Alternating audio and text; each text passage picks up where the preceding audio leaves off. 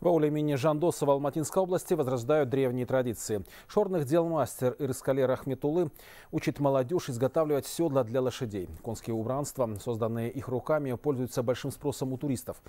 Так местные жители и наследие предков сохраняют и достойно зарабатывают. Подробнее в нашем материале.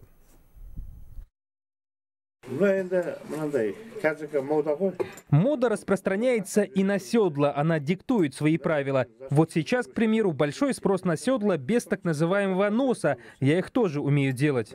Этому ремеслу Раскали Рахметулы научился у отца, тот у деда. Корни уходят вглубь истории. Предки одомашнили лошадь, создали культ и тысячи мифов. И не меньшее значение всегда имела амуниция коня, особенно седло. Оно не должно ограничивать движение скакуна или доставлять боль. Важно соблюсти ширину луки и угол ленчика. Все эти знания мастер накапливал почти 20 лет. За это время он изготовил несколько сот седел с неповторяющимся дизайном, стилизованными тюркскими узорами.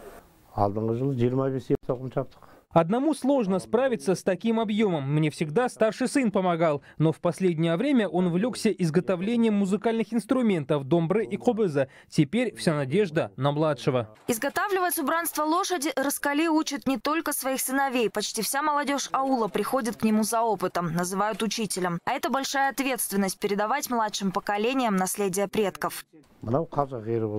Это казахское седло. Большого мастерства требует. Наверное, к лету научишься его изготавливать.